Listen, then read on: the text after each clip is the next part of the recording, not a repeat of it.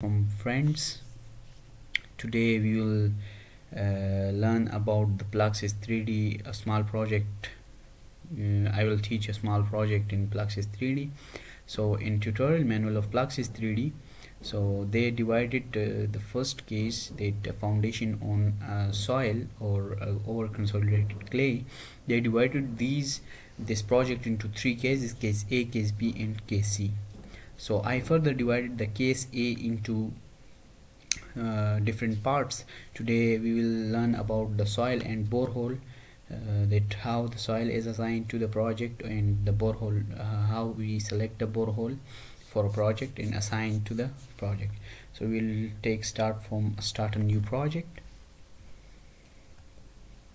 So we will enter as tut 1 foundation on OCC soil we'll click next. Now we will enter the model properties. So here our length will be in meter our force will be in kilonewton and our time will be in day.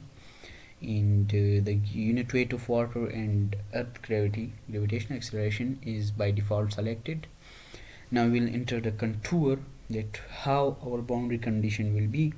So I'll enter here is minus 75 in negative x direction in 75 in positive x direction. Minus 75 in negative y direction and 75 meter in positive y direction. After that we'll click ok. So our boundary condition is met. Now uh, for uh, for starting a project first we entered the uh, the boundary condition and uh, our we decided our units that in which unit we will uh, continue through till the end. So now first part of the project will be the soil. To define a soil stratogra uh, stratigraphy and uh, soil for the project so we will first create a borehole. So we will click here as borehole and we will select borehole at, at which location our borehole will be. Now at 0 0 location and uh, our head will be minus 2 meter means water level. And uh, we'll add layer.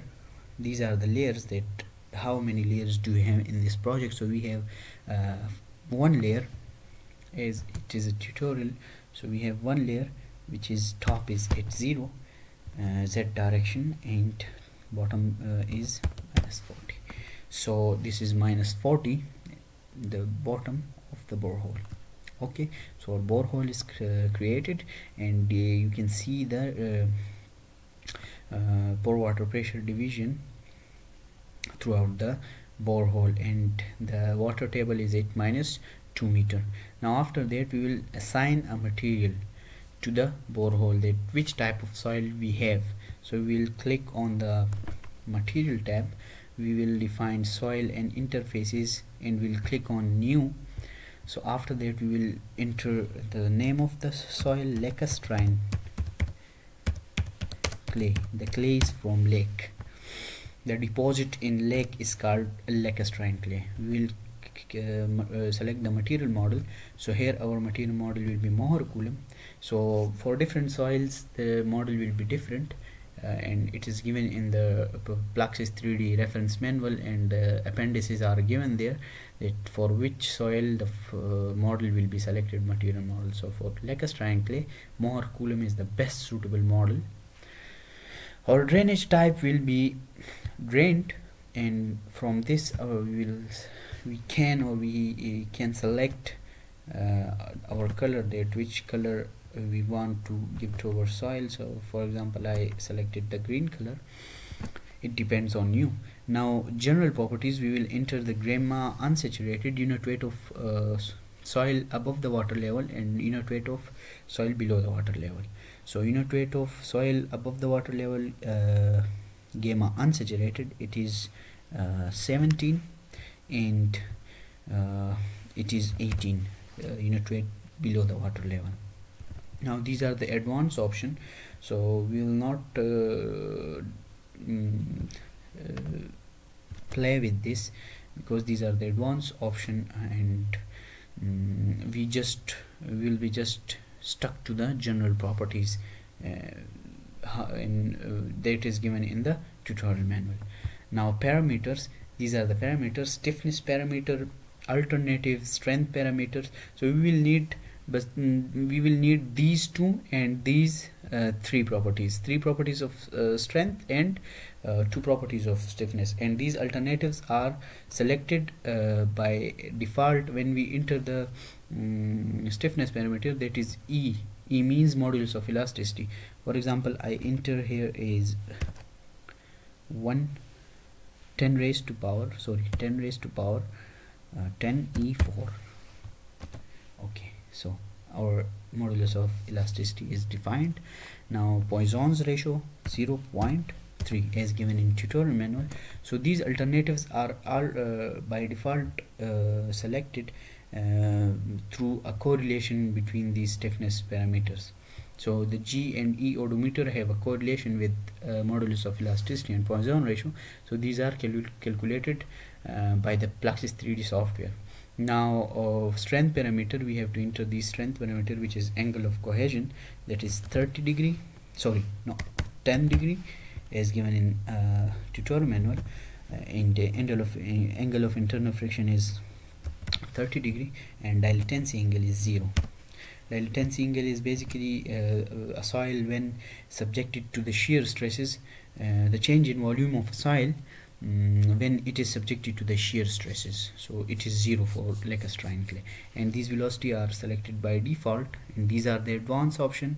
Uh, the stiffness parameter if stiffness increases with the depth of soil so we will enter uh, the incre increment and from where it start increase we will enter the z reference. So uh, we are not uh, talking about the advanced option now.